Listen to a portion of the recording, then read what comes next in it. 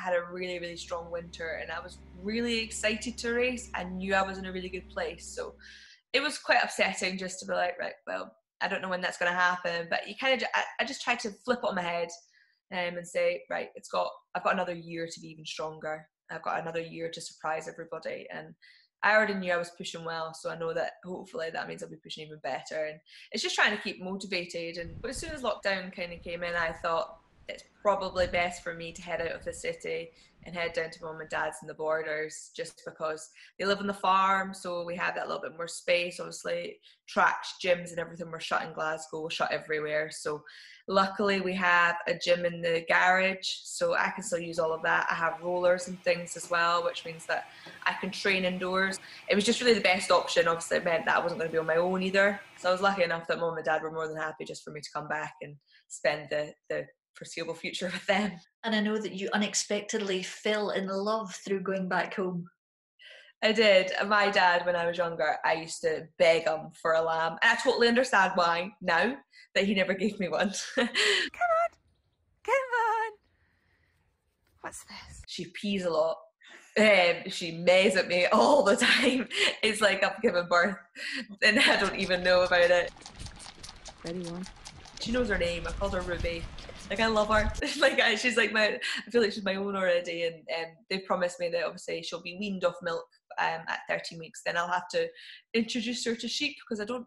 I don't think she knows that she's a sheep yet.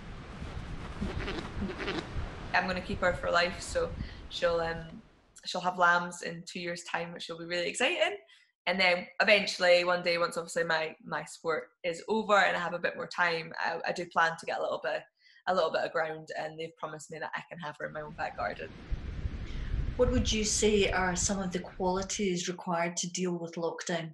I think I always try to remember that I'm sure, I'm more than certain that there's someone out there that's going through something harder than I'm going through, and I think that's all. That's all I ever try to think about. You know, whenever I had my accident, it was the thing that always got me through was knowing fine that there was people across the room from me that were facing far harder conditions than I was facing that weren't able to move their arms or their neck or even breathe for themselves. And I think whatever I've gone through or whatever I'm thinking and whatever's happened to me is I always just think I'm sure there's someone else that's going through something far harder and they're going through it and they're getting up and carrying on so that so I know that I can as well. And, and I think that's what keeps me pushing through is just knowing that knowing that I can get up and go on and, and hopefully I can achieve great things.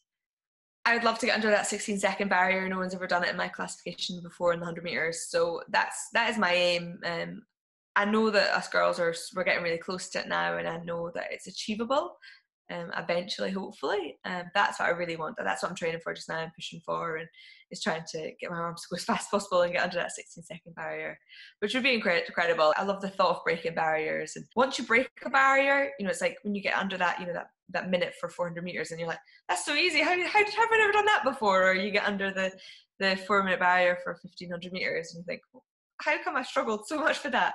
And I'm sure it'll be the exact same when you once the girls start going under 16 seconds, it'll be like, oh, okay, this this is fine. Why haven't we done this before? And you know, it's just trying to make you know Paralympic sport get better and faster and uh, stronger, and that's what I'd love to do. And obviously, to win a Paralympic medal is that's the dream. That's why I'm doing it is to be in the middle of that podium one day and and win a Paralympic medal and hear my national anthem. And so that's what I'm striving for. I hope to keep going for as long as possible. I know that one day it's probably going to be more marathons when I, my arms start to slow down slightly and I can't do 100 meters anymore obviously you get to see some incredible cities doing marathons.